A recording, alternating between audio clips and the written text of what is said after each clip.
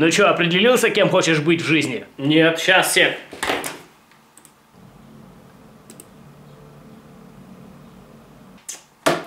Под городищем. Я давно мечтаю стать под городищем.